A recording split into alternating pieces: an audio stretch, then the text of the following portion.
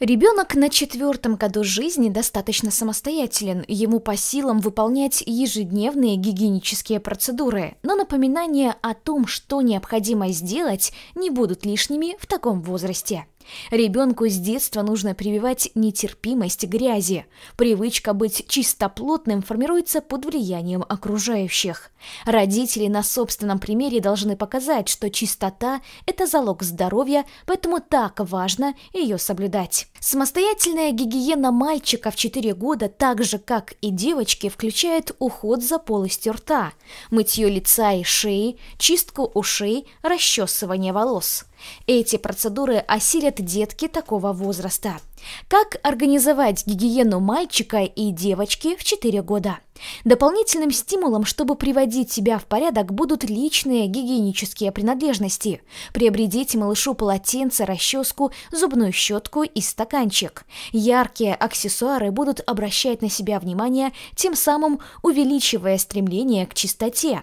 Доступ к умывальнику должен быть постоянным и безопасным. Для этого используйте низкий крепкий стул или специальную подставку. Расположение зеркала должно быть соответственно росту ребенка, ведь соблюдая гигиену, малыш должен себя видеть.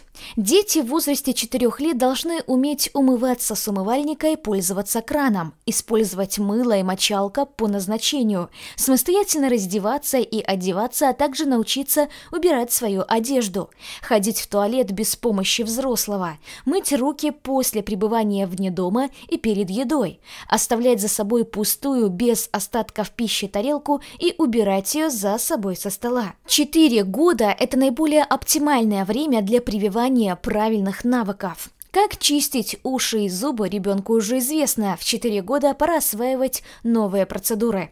Пусть утреннее умывание станет полезной привычкой. Ребенок должен приучиться мыть лицо, шею и подмышки. Умываться нужно без мыла. Когда ребенок осилит процесс, можно показать ему умывание с мылом. Лицо намыливают легкими движениями осторожно, чтобы пена не попала в глаза.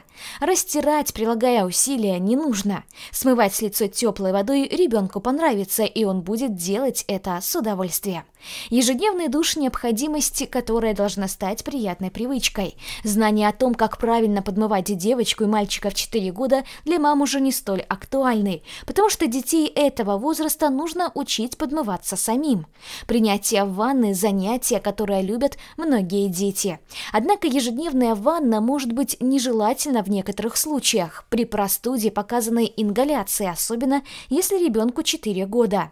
Принятие ванны в этом случае следует отложить до более благоприятного момента. Чистка зубов – ответственное мероприятие, которое требует некоторой сноровки. Зубы необходимо чистить дважды в день. Утром эта процедура осуществляется после завтрака, а вечером – после ужина. Приучайте малыша в течение дня полоскать рот после каждого приема пищи, чтобы налет на зубах у ребенка 4 лет был явлением кратковременным. Учите ребенка правильно чистить зубы. Длительность процедуры имеет существенное значение. Взрослым рекомендовано чистить зубы в течение 10 минут. Детям разрешается сократить время до 5. Но с возрастом длительность чистки зубов увеличивается.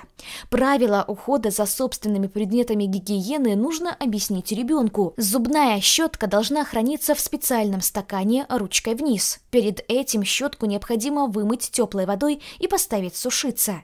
Щетка ребенка должна храниться отдельно от щеток взрослых. Уход за волосами подразумевает мытье головы, расчесывание и обстригание волос. Длинные волосы в этот временной период – явление нежелательное. Тонкость и хрупкость детских волос делает процесс расчесывания травматичным. Часто неясно, как подстричь девочку 4 лет, чтобы волосы при расчесывании повреждались как можно меньше. Стрижка до плеч – это наиболее оптимальный вариант. Длинные волосы, постоянно собранные в хвост, не прибавляют волосам здоровья. Затянутые резинкой волосы истончаются и редеют. Если у девочки на голове есть пробор, то его сторону периодически нужно менять. Как подстричь мальчика 4 лет? Правильно стричь волосы в том направлении, в каком они растут. Затылок и уши, как правило, выстригают сильнее, но не следует увлекаться. Комфортно, когда длина имеет несущественную разницу.